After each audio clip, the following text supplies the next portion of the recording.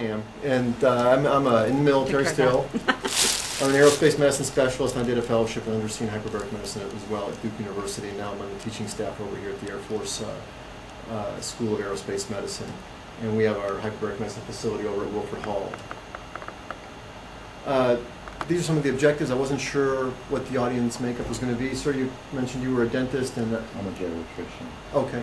Um, So I, uh, we'll try to focus on the things of interest. It's a small group. You guys can stop me anytime, ask any questions as we go. And if we don't make it through all the slides, that's okay. I'd rather just focus on what's of interest to you. Uh, If you're not familiar with hyperbaric oxygen therapy, hey, how you doing? Come on in, have a seat. Uh, We're talking about a systemic therapy, not a topical therapy. There are some topical oxygen delivery systems out there that the- the- you can't extrapolate the literature from hyperbaric oxygen therapy as we describe it as systemic therapy to the topical. Uh, It's totally irrelevant. Have they in any way ever been proven efficacious to topical? To No, knowledge? Th- th- in my opinion, no, sir. Uh, It's, a- we deliver 100% oxygen at, at higher than one atmosphere, typically between 1.8 atmospheres and 3 atmospheres absolute. Uh, So um, two to three times the uh, uh, pressure that we're experiencing in this room. And we can achieve, at, uh, we can achieve arterial oxygen tensions of over a thousand millimeters of mercury easily, and upwards of 2,000. Okay, in a healthy young person, uh, we could probably get close to 2,400 as far as a PaO2.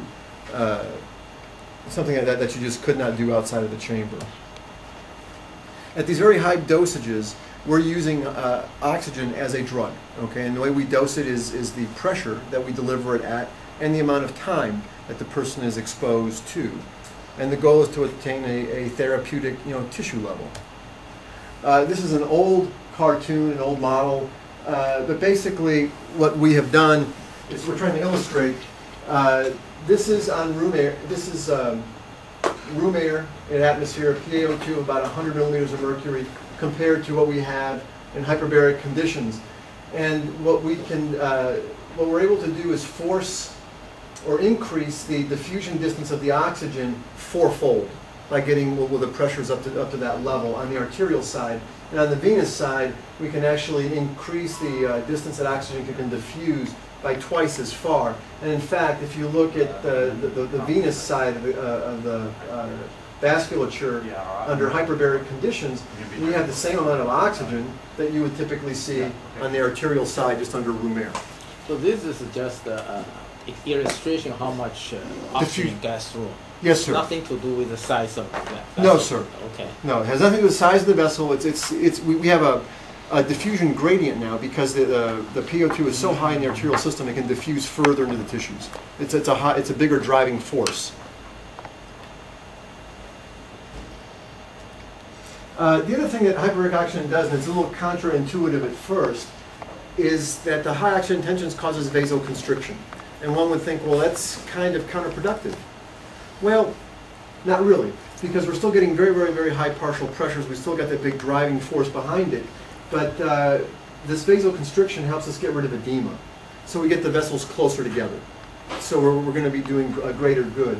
Uh, in a very simplistic way, you know, here you- you've got a, uh, a capillary bed and, and all the cells are close enough to, to the vessels to where they're adequately oxygenated.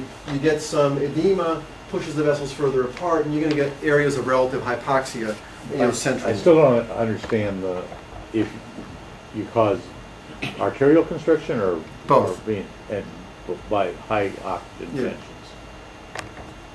And that's gonna decrease the, the volume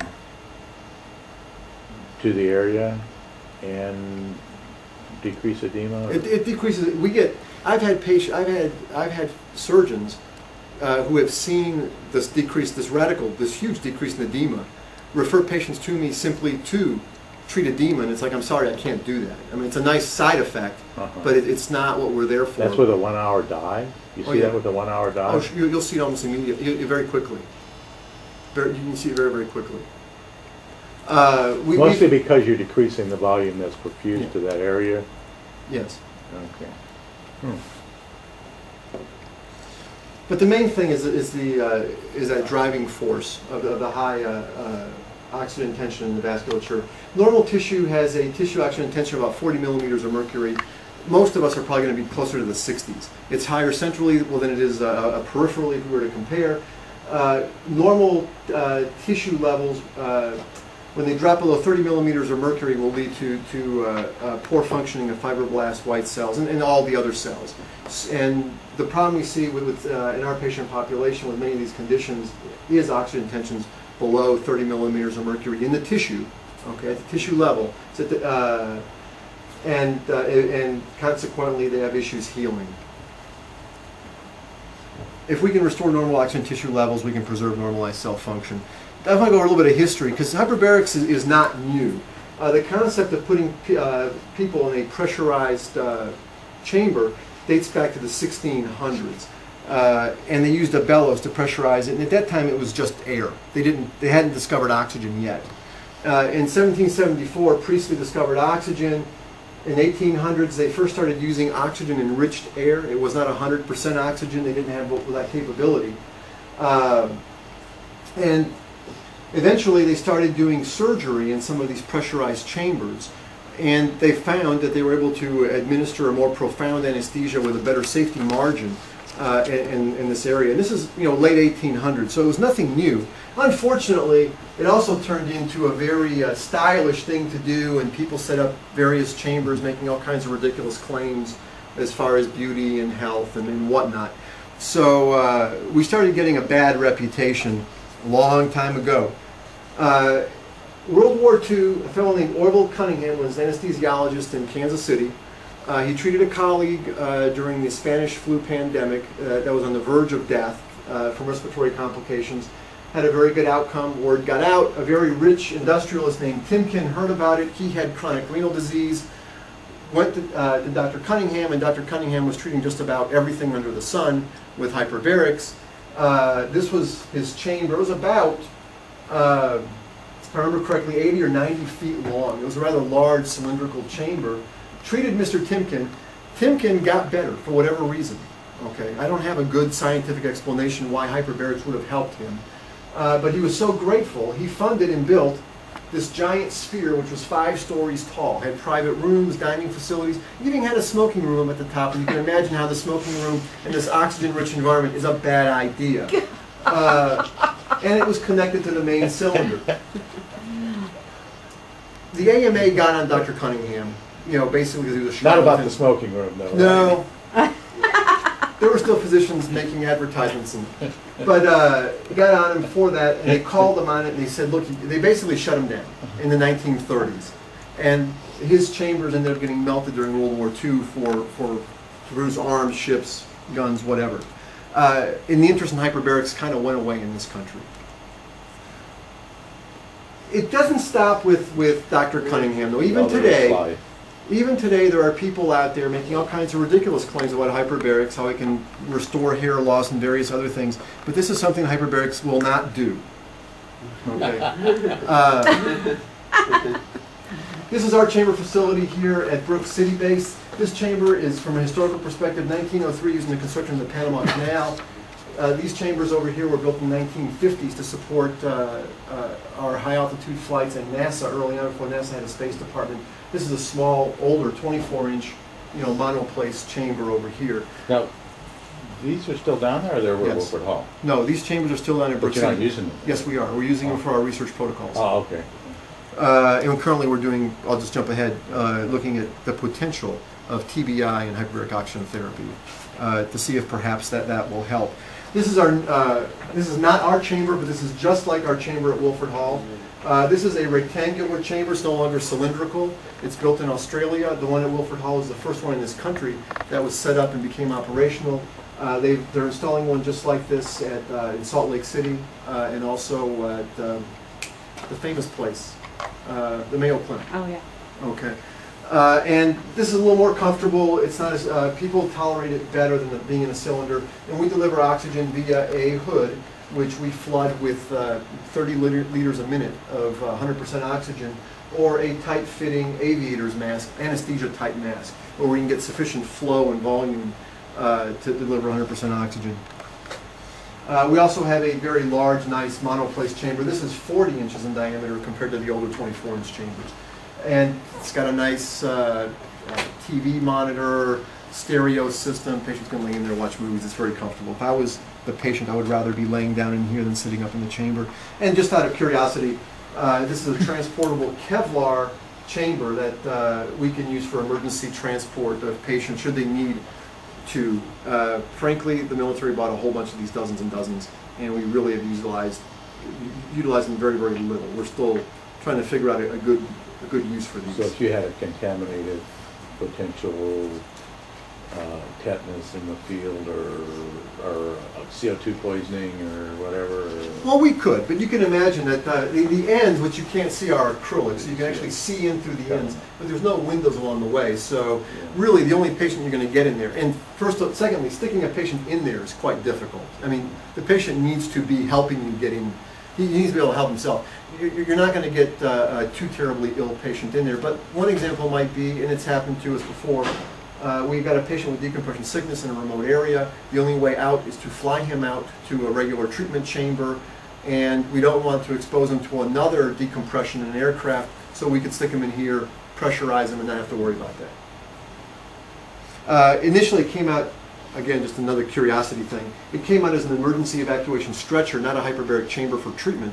Uh, it, they didn't want to go through all the hoops, FDA approval and whatnot. Since then, they have gone back and actually have been certified to deliver a treatment. And we certainly used in the could. Civilian, the civilian community at all? Actually, it was initially developed for, for the offshore oil rig, Oh, uh, okay. you know, population. More for decompression.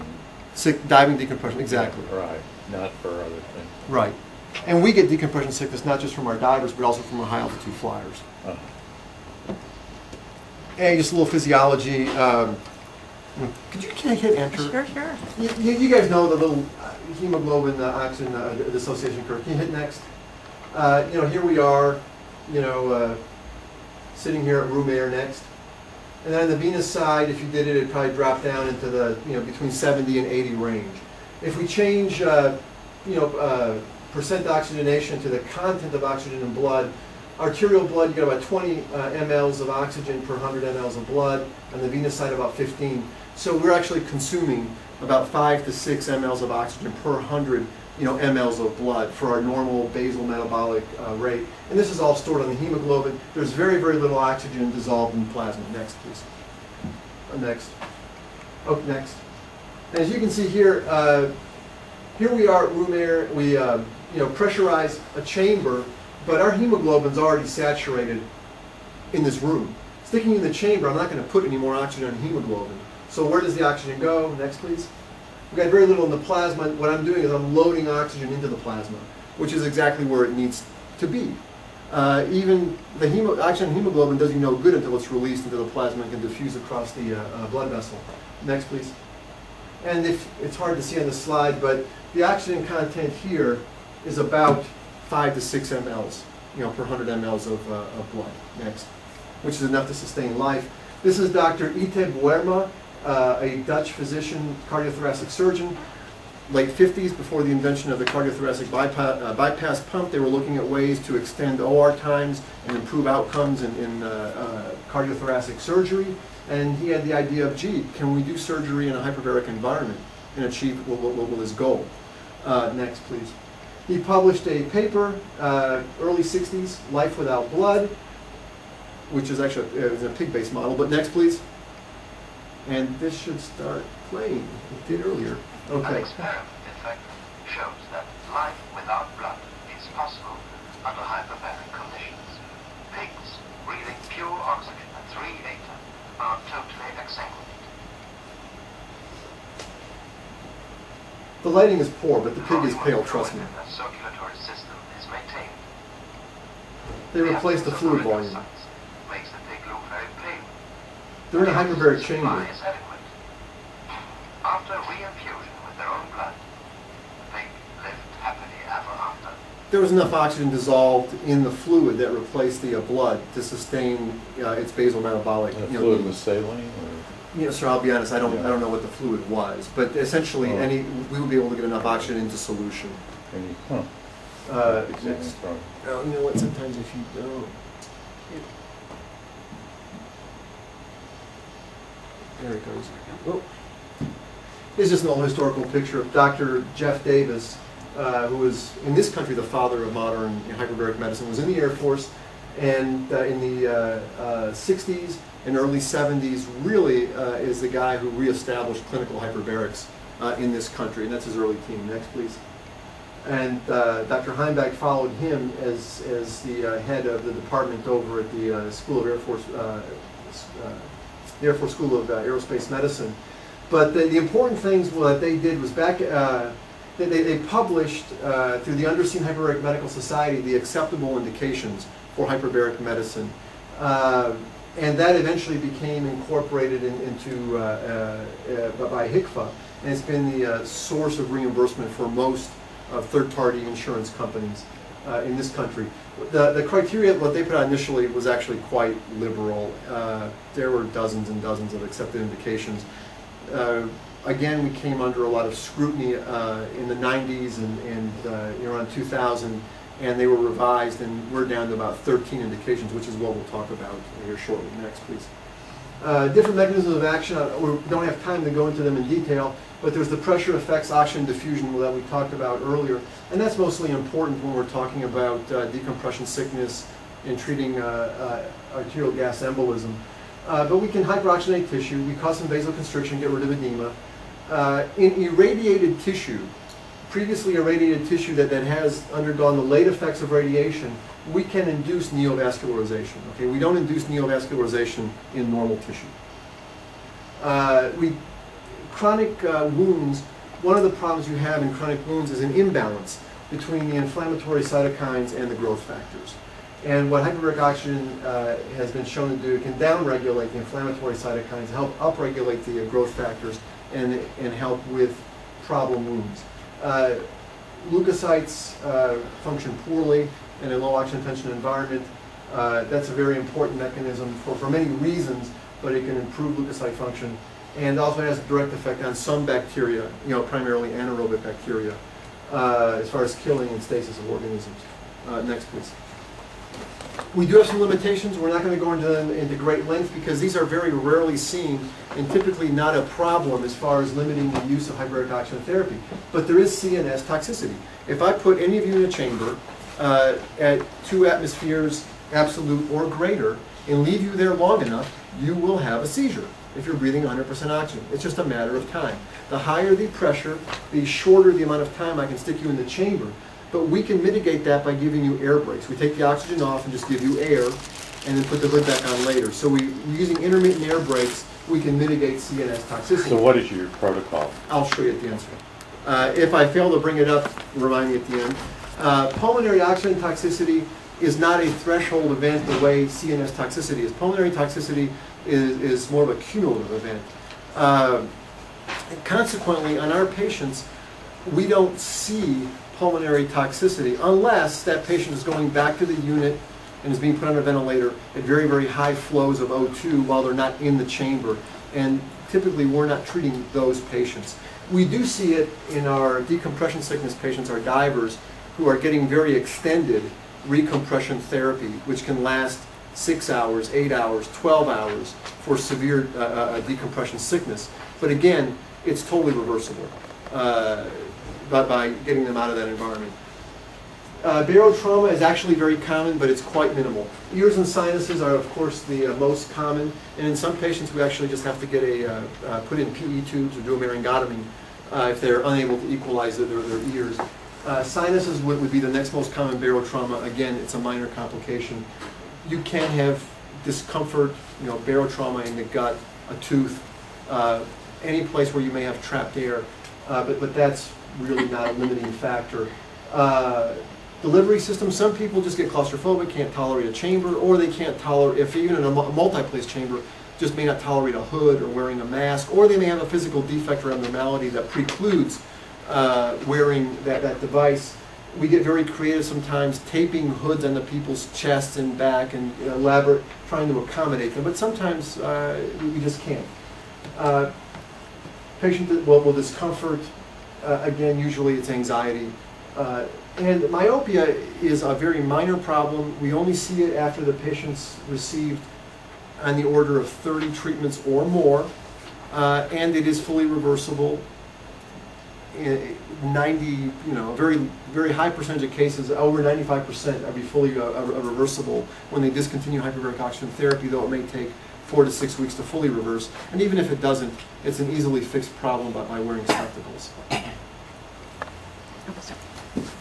This is just a laundry list of the approved indications. I break them into two categories, acute and non-acute, but we're gonna, uh, got more slides coming up listing all of these, so we'll just move on for the sake of time.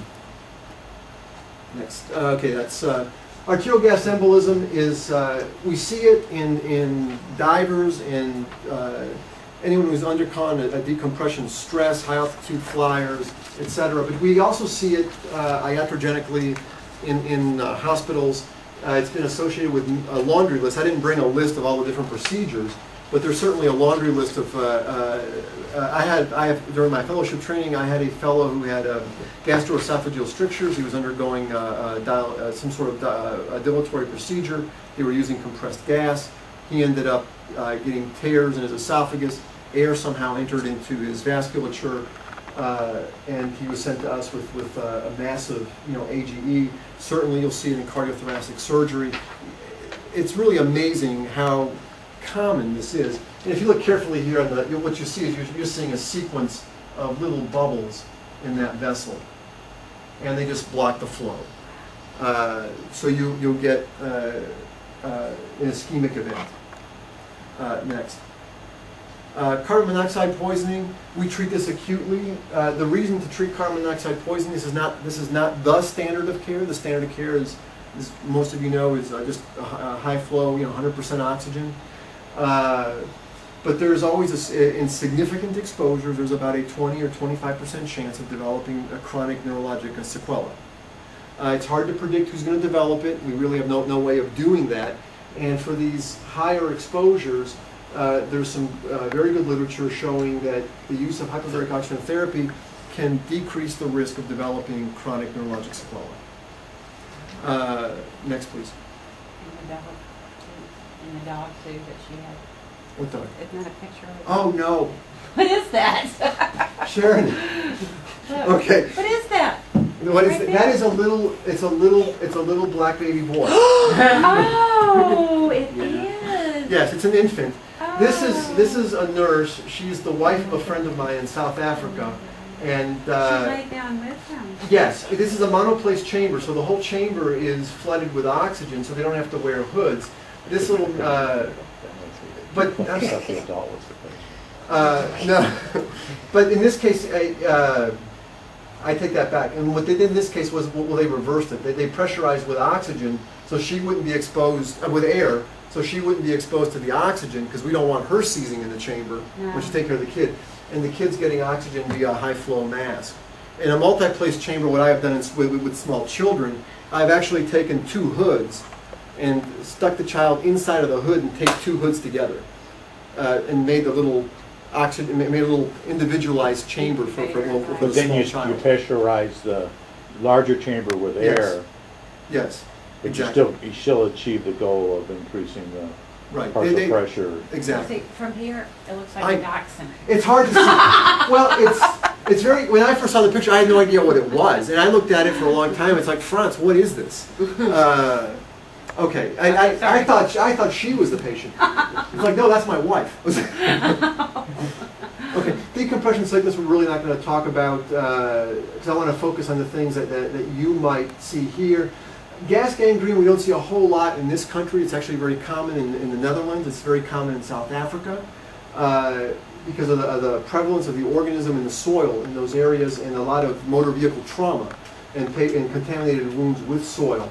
But gas gangrene is, is an indication uh, for hyperbaric oxygen therapy. What, what it does, we, uh, not only is it is the organism an anaerobe and hyperbaric oxygen therapy uh, helps kill the organism, but even before it does that, it will terminate the, the, the production of a lot of the toxins that, that cause problems in, in gangrene. Uh, next. Acute traumatic ischemias, you know, the big, the big issue here, one of the big issues, is you get, you can have that ischemia reperfusion phenomenon when, when you reestablish, you know, flow and connect things together again. And hyperbaric oxygen therapy uh, can break that ischemia reperfusion injury cycle. Okay, so basically it can uh, reversibly inhibit the beta 2 integrins, so it keeps the, the, the white cells from attaching to the cell wall and, and migrating through the uh, vasculature into the tissue and causing some of that secondary injury. So you're talking about people that are actually have have traumatic amputations that are reconnected or? That would be an, an example, but basically anytime where, where, where you've had an acute, you know, ischemia and you've reestablished flow, hyperbaric oxygen therapy uh, is, is an a approved indication and can be utilized. Can you get somebody into the chamber fast enough in some That's- settings? Well, th- and that's the problem, one of the problems with oxygen therapy is it's, it's not available everywhere. Unless you have it in-house, you're probably not gonna be able to use it. Uh, and with the exception of, excuse me, arterial gas embolism and decompression sickness, uh, it, it is not primary therapy. It is just adjuvant therapy. And it's never used uh, to replace the primary therapy. Okay? Uh, but if it's available, it's something to think about. For uh, that uh, decompression sickness, I mean, if you like go down, Yes. then kind of lot of pressure inside, and eventually you get pulmonary edema because everything comes. No, with decompression sickness, very briefly, if, and if you're interested, we can talk some more afterwards. But right now, uh, we're breathing 21% oxygen and 78% nitrogen. Nitrogen, for all practical purposes in the body, is an inert gas. We don't metabolize it, we don't do anything with it, okay? It's inert. Uh, and we are sitting right now at equilibrium. We are saturated at this given pressure with nitrogen. If we go scuba diving or go to an environment of increased pressure, uh, You get annular rupture no, you don't get what happens is when you go to the increased pressure with, with decompression sickness is you're now unloading nitrogen. You, you've got to achieve a new equilibrium uh, at that pressure. So you are, you are adding more nitrogen to your tissues. You- The longer you stay down there, the more nitrogen gets on board, okay? Now, once you come from that pressurized environment and you surface and you decrease the pressure, that nitrogen has to be released.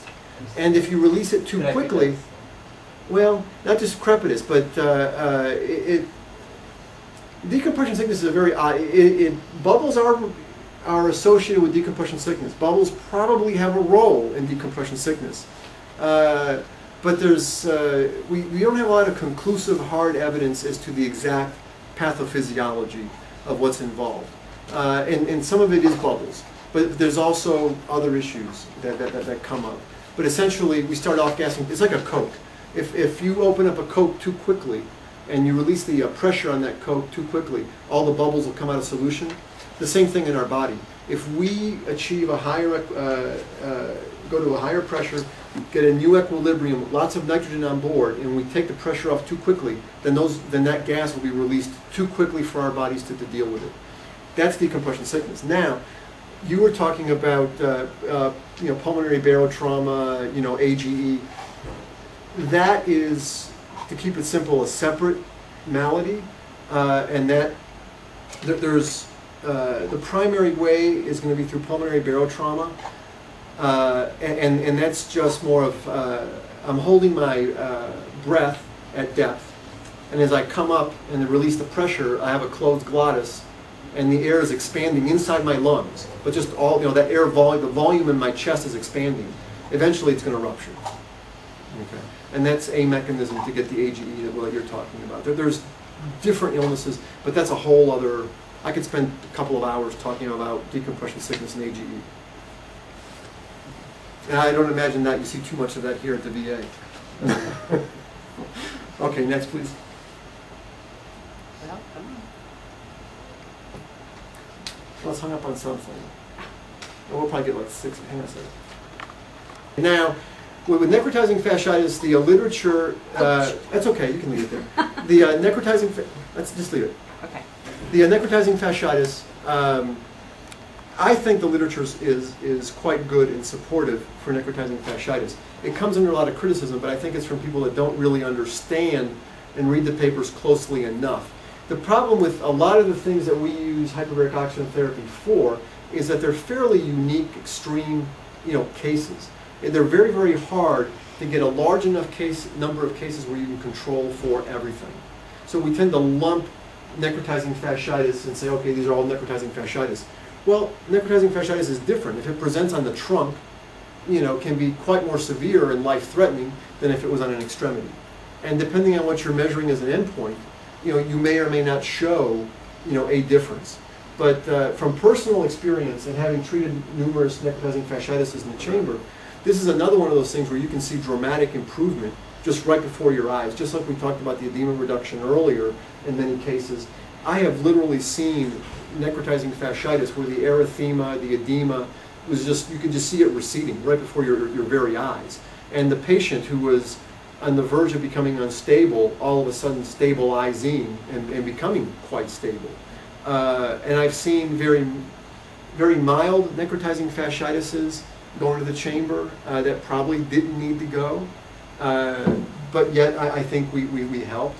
And I've seen some other very severe cases that, uh, you know, they've already had extensive multiple debridements, you know, extensive surgeries, you know, triple antibiotics, IV, you know, uh, uh, IG, and we're still spiraling down. And it wasn't until we stuck them in the chamber that they turned around. Uh, so I'm, I'm, to me, it's almost more like a religious kind of conversion. I'm a believer, and I think the literature is actually quite good on it. Exceptional blood loss anemia. I've never treated anybody like it. I'm sorry. Never mind. Exceptional We'll blood- about it later. Exceptional well, loss anemia. I've never treated someone with that, but uh, you can see that a couple times. Either somebody who doesn't want blood, well, blood products, uh, or you're having trouble, you know, typing and cross matching, matching somebody or getting blood. Well, obviously, if they're too, if they're so anemic, you can actually get, you know, uh, EKG changes. You can have, you know, organ system, uh, you know, a dysfunction and injury uh, if, if they're if they're profoundly anemic. Uh, by sticking them in the chamber, we're just buying time. Uh, and it is, is my approach to it. One of the interesting things that, well, there's also that been, well, been shown, we can't keep them in the chamber for very long because of oxygen toxicity. Somebody like that, we end up bringing back three or four times a day for an hour or two at a time, if need be. Uh, but it has also been shown that we can increase red cell production, and if they, if they're not going to get blood products at all, get their hematocrit up more quickly uh, by using hyperbaric oxygen therapy. Those are very unusual cases, and, and there's, it's not a big indication. Acute thermal injuries, I'll be honest with you, all that wa- was based on, uh, on old literature. Uh, back in the 60s and the 70s, before we started doing wide excisions uh, and early uh, grafting of burns, uh, I am not an advocate of using hyperbaric oxygen therapy in acute thermal injuries.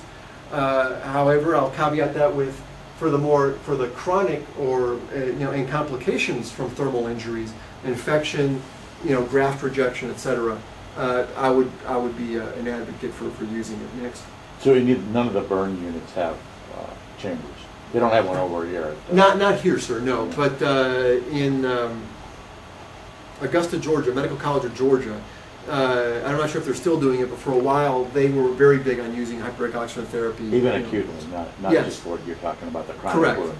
Correct, but you know, ironically, for, for most of the things that hyperbaric oxygen works for, it work it, it- you can show a difference or show benefit for the more extreme, severe, you know, really sick people. And uh, there'll be a good example of that coming up here shortly. Consequently, on the burns, it was it was they were advocating on these uh, really severe, extensive burns. Well, those are usually complicated, multi-trauma patients who are very unstable, and sticking them in the chamber, unless you do it routinely, is something very that's very very difficult to do. And certainly, even though I'm an experienced hyperbaric uh, uh, physician, I, I'm not you know I don't feel, feel qualified to do that. I wouldn't want to do it. Uh, compromised grafts and flaps we will talk about here uh, coming up. Basically, we can use it two ways. One, in previously irradiated tissue, and I'll show you some examples, uh, we can prepare the site uh, with hyperbaric oxygen therapy, and that's well accepted. Uh, you obviously don't want to graft into previously irradiated tissue because if you've seen uh, previously irradiated tissue that's had a heavy dose, it's it's hypovascular, hypocellular, it's uh, uh, very it's scar tissue basically. Okay, it's not going to take. But we can also use it to salvage a threatened graft or flap. But this indication was originally meant for the acute, hyperacute setting where you put a graft on, a flap on this morning, and you go up in the afternoon to check your flap, and it's and you, you there's it's dusky. You're concerned about the viability of the flap.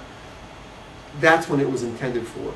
this has evolved, and you'll see that most of the patients that we get for threatened flaps are 10 days down the road, 12 days down the road.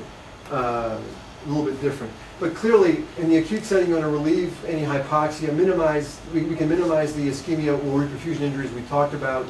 Uh, we can improve micro, microvascular uh, uh, blood flow and improve overall wound healing. Uh, next, please. Uh, if you have a threatened flap, you want to do surgical correction. We're just adjuvant therapy. We don't replace everything else. Clearly, if there's a threatened flap, why is it threatened? You know, is the pedicle twisted? Is there a hematoma? Is there some other obstruction that you can fix surgically? That needs to happen first. And then clearly we can use hyperbaric oxygen therapy as adjuvant. Uh, this is more of what we see on, on a regular basis, and it's not really what the initial intent was when we said threatened flap.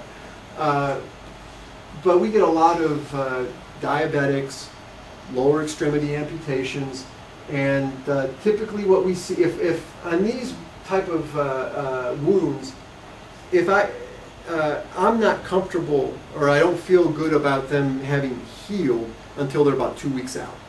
Because typically if it's going to fail, we see it failing at, at 10 to 14 days. But the reason it's failing, it's either going to be, you know, poor blood flow to start with, is not, maybe not, not the best site to cut at, uh, or infection, okay, or some other issue.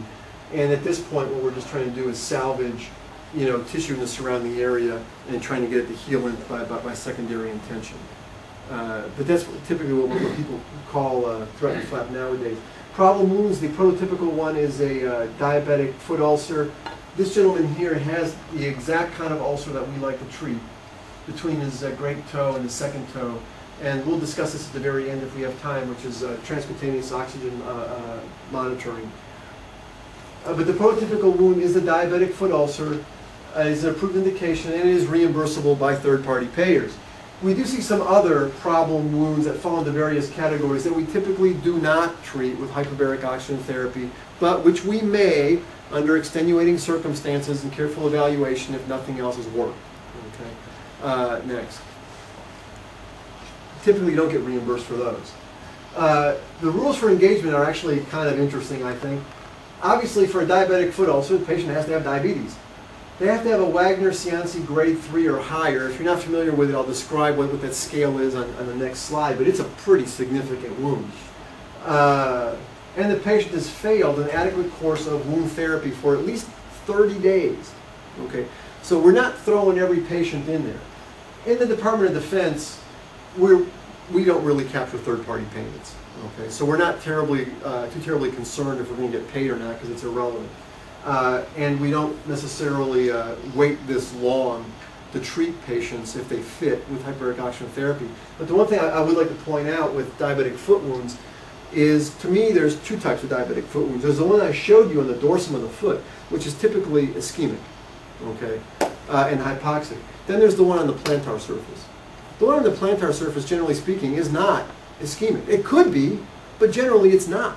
The problem with that wound is it's neuropathic, he's got anatomic deformities, uh, and, uh, uh, and, and ischemia is not a problem. Infection will- might be a problem, there may be some other issues involved. And with those wounds, if you do good pressure relief, good wound care, uh, since it's not ischemic, hypoxic, you don't need hyperbaric oxygen therapy.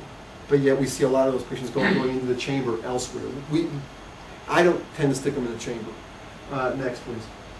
The, the grading scale, uh, it's kind of interesting because on a grade three, it has to penetrate uh, basically uh, down into the, uh, you know, uh, uh, you gotta have tendon or bone or the joint. Okay, it's gotta be that deep. And it has to have infection. Okay, and only at that point is it a grade three and can we, we, we can stick it in the chamber and get reimbursed by uh, third-party payers. So it's, it's a pretty extreme wound, uh, sadly.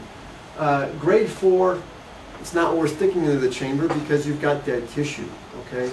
I cannot resurrect dead tissue. What's adequate or standard wound care therapy? Well, we want it to go on for at least 30 days. You got to have a proper assessment of vascular status. If the person has vascular compromise and is a good candidate for vascular bypass, that needs to happen first. Okay. If you think about my systemic oxygen therapy, If you don't get blood flow to the area, I don't get oxygen to the area, and it's not going to work. Okay? So ideally, we would correct any vascular problems if possible. If not, we go into understanding that hyperbaric oxygen will be, will be limited uh, in its effects. And we have ways uh, of using our transcutaneous oxygen mem- measurements to predict uh, the ability uh, of the wound to heal if we were to stick it in the chamber.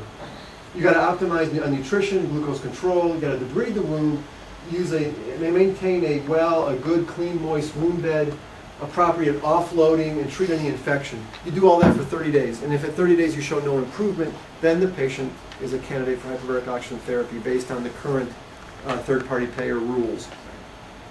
I, Yes. we did, go ahead. Oh, okay. Uh, chronic refractory osteomyelitis is something else that, that uh, uh, we have pretty good uh, success with. And we'll go, you know what, uh, just the differentiate between acute, chronic, and refractory, we only treat, or should be treating, chronic refractory osteomyelitis. Okay? And that's because it's very different from acute. And chronic refractory for us is you've undergone uh, a, a, an honest to goodness, you know, uh, first class attempt to eradicate the, what the infection surgically, through antibiotics, or both, and the infection persists uh, uh, for longer than six months. Okay, next. We're just adjuvant therapy. This is what acute osteomyelitis looks like, which is very different from, from chronic, which is more of a diffuse type of infectious process, uh, and it, it's just very, very different. Uh, next, please. And the difference, you'll see clusters of bacteria, it's usually polymicrobial. Uh, you've got uh, hypovascular, hypoxic bone, the oxygen tension is, is too low, okay, to, to promote good function of the white cells, osteoclasts, osteoblasts, and fibroblasts. Consequently, the body just can't clean itself and rid itself of this infection. Uh, next. Uh, we've had pretty good success with, with these chronic refractory patients. But again, when, we're treating them, we're not using hyperbaric oxygen therapy as a monotherapy. We're just an adjunct. So they're, they're still getting surgery or an, and or antibiotics. It's being aggressively treated. We're just adding hyperbaric oxygen therapy uh, uh, to the mix. Uh, just there's a pathological slide of uh, you can see how it's a very diffuse, you know, process here. You've got multiple abscesses uh, in the shaft of the bone, and you can see in this X-ray where you, instead of being a very focal process, you can see that you've got a, uh, a, a lot of stuff going on here. But you can see it's also extending quite a, quite the, there's a big reactive process going up this way. Okay, it's it's very different from an acute osteomyelitis.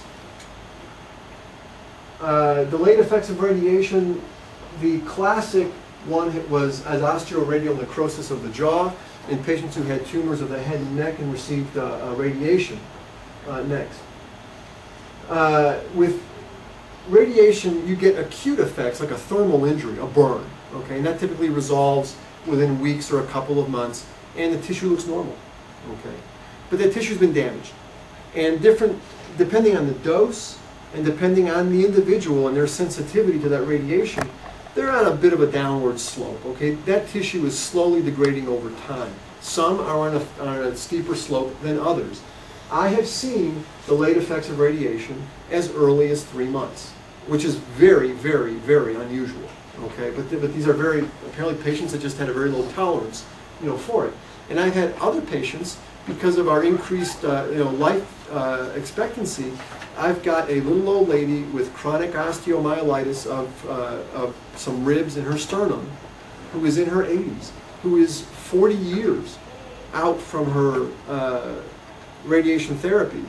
And she never had a wound before, but now she does, okay? 40 years. What the radiation does, it causes an endarteritis, and you, and you get a hypovascular, hypocellular bed, you get a lot of fibrosis. As I mentioned, it's a continuum. The complications in the irradiated bed typically are precipitated by a second insult, okay, either infection, surgery, or trauma. In my 80-year-old lady, she basically had an actinic keratosis. She went to go see her internal medicine doctor. They went to go freeze it off, not realizing it was over this previously irradiated field. They gave her a small wound, which turned into a big problem. Same thing happens in, in your dental patients. Uh, you know, initially, it's a very interesting story because the guy who discovered this is, was a former Air Force maxillofacial surgeon, uh, uh, Dr. Marks. He was here in San Antonio, and up until that point, they, they'd been treating these patients as uh, chronic osteomyelitis of the jaw. And they were treating with antibiotics, they weren't getting any better. He said, well, gee, maybe this is something else. And he fell upon this uh, uh, osteoradionecrosis uh, of the jaw. I'll, show you some of his data and what he did here shortly. But because of his work and success in treating osteoradionecrosis uh, of the jaw, you know, you just can't extrapolate data from one tissue to another. And the only really good studies that we had from going lab animals to humans is in the jaw. But we have treated many patients with laryngeal necrosis. There's a, an excellent case series of over 100 patients uh, with laryngeal necrosis. I have personally treated patients with laryngeal necrosis and had very good results. Uh, we've treated many soft tissue wounds. A lot of radiation cystitis and proctitis. Unfortunately, we don't get these patients until it's very late in their course of their illness. I have seen patients who have gone to stellar medical institutions, you know, Johns Hopkins, uh, the Mayo Clinic, the Cleveland Clinic, and uh, their urologist, well, you know, we'll do all this other stuff first, and then do, if that doesn't work, we'll do hyperbaric oxygen therapy. Well, you know, by the time you've gone in there and you've tried sclerotherapy and you turned his bladder into leather, okay, there's not much I can do for you, okay. Uh, I'd rather see them earlier well, than later. I've gotten very good success with all of those. We've tried it with radiation neuropathies and brain injury, and frankly, that has proven very, very hard to treat. Okay, I, and my, my personal success has not been great, and there's not much in the literature. Uh, next, please.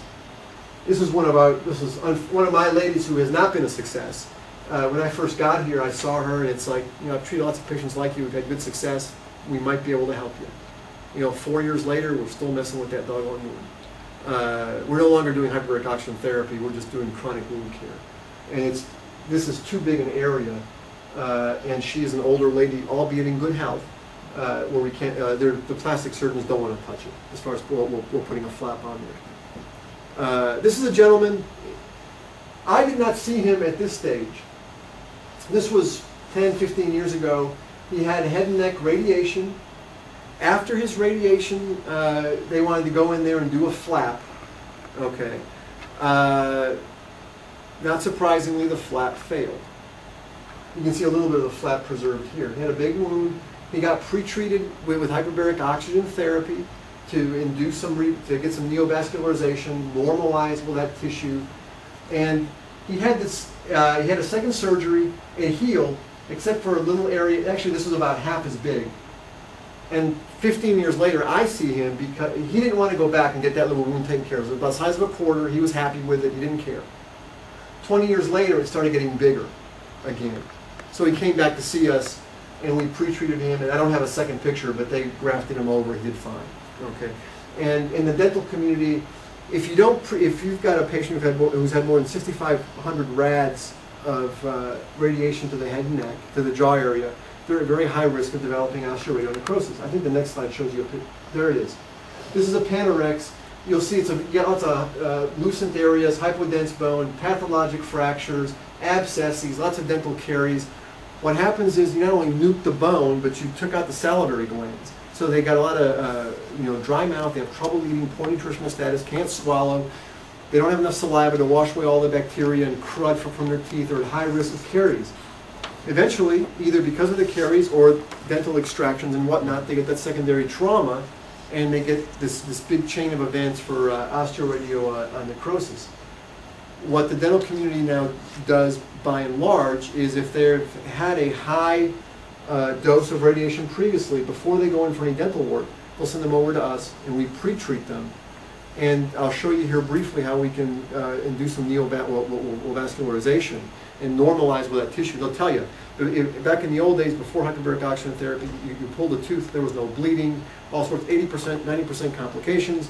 Nowadays, after hyperbarics, you pull a tooth, it looks more like normal tissue, it bleeds, it heals better, if- and far, far, far fewer complications. Uh, so we use it prophylactically, and we also use it to treat, to try to treat some of those extensive cases as well. This is a rabbit study that Dr. Marks did, and make a long story short, This is on air. This is just uh, breathing 100% oxygen on, uh, at surface level, no pressure. This is in a hyperbaric chamber after numerous treatments, and you can show using micro microangiographic vascular density that we have induced new vasculature into that into that tissue.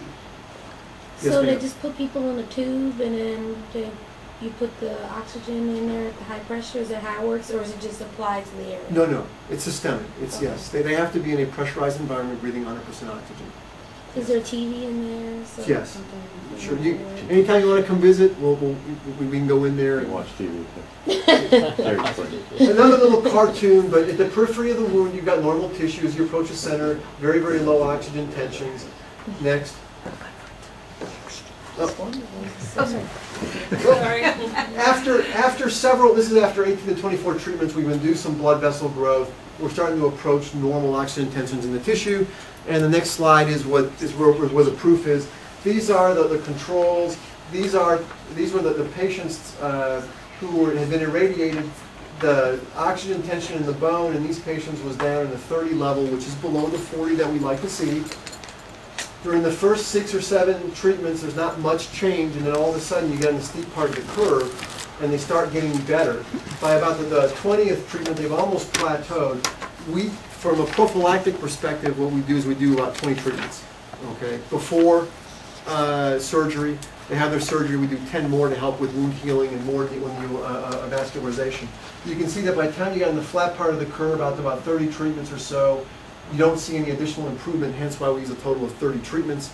And the break in the line here is because of follow-up. They followed these patients for several years, and they basically sustained that neovascular, that, that vessel growth, okay, and didn't lose it. So that's what you're measuring with that transcutaneous, you're actually measuring the, the. The oxygen tension in tissue. the Well, the vessel- actually, The vessel growth, but that's a proxy for how much yes, that vessel growth. Yes. yeah, the, the vessel growth was demonstrated in a rabbit model. Right. Uh, we can get tissue up to about 80% of normal, okay, uh, by using hyperbaric oxygen. In previously irradiated tissue, we don't do this to the normal tissue. Uh, once we get vessel growth, you get improved uh, uh, cellularity, and the goal, some patients it's to heal wounds, but in these other patients it's to prevent wounds. Or, uh, and a lot of times we don't, like with uh, radiation cystitis and proctitis, we may not fix the problem 100%, but we fix it enough to where their quality of life improves us significantly, and they're very happy patients. Cerebral abscess is another one that I won't go into because it's just not worth talking about. Okay, they're very rare. It was based on some uh, uh, case reports in the literature. I believe it works. However, these are some very rare extenuating circumstances that are, are quite unique. Next. Uh, some of the experimental uses. This one is about to become an approved criteria based on research done here uh, at the uh, at the Air Force Base. Central retinal artery occlusion. The problem with this is getting into the chamber early enough after their, their, their insult. Okay, if they come in and they've had visual loss a week ago, can't help you. But the ones that, that, that we've been able to, to get excellent outcomes in have been the ones who come in that morning. And you know, I woke up this morning, I can't see. Uh, and we've got excellent outcomes. And that data is very good. Uh, I was one of the first people to uh, recognize and report the uh, bisphosphonate-induced osteonecrosis uh, and published a, a case series. Uh, I'm not sure if, I, if hyperbaric oxygen therapy can help uh, in this particular entity. They're doing a study at Duke right now, uh, which is where I was when I fell upon it, uh, to see if it helps or not. It'll be interesting. And of course, I mentioned earlier. that, does that occur in all bones or mostly just in the, in the facial bones there? I've, I've only seen it in the facial bones, and, and the way and the way I came across it is we were getting patients sent by dentists for, ironically, chronic osteomyelitis, which was the same thing that Dr. Marks saw Uh-huh. 30 years prior. Thing, some this bizarre entity, and uh, but they weren't responding the way that our normal patients did. So I just started looking through their records and realized that you know all of these patients with the chronic osteomyelitis of the jaw that aren't responding, they're all on a bisphosphonate. And that's how it came. That's how it just came up. I, it was not that I'm a genius because it's far from it, but it just stumbled upon it. And we're doing some research now with acute uh, uh, brain injury uh, and uh, oxygen therapy. We'll see. Uh, we've got a big DoD study funded, like 10, 10 or so million dollars, 20 million dollars. We got a. s- It's not kicked off yet, It's gonna be a multi-site study across the country, and then we've got a small study going on at Brooks right now.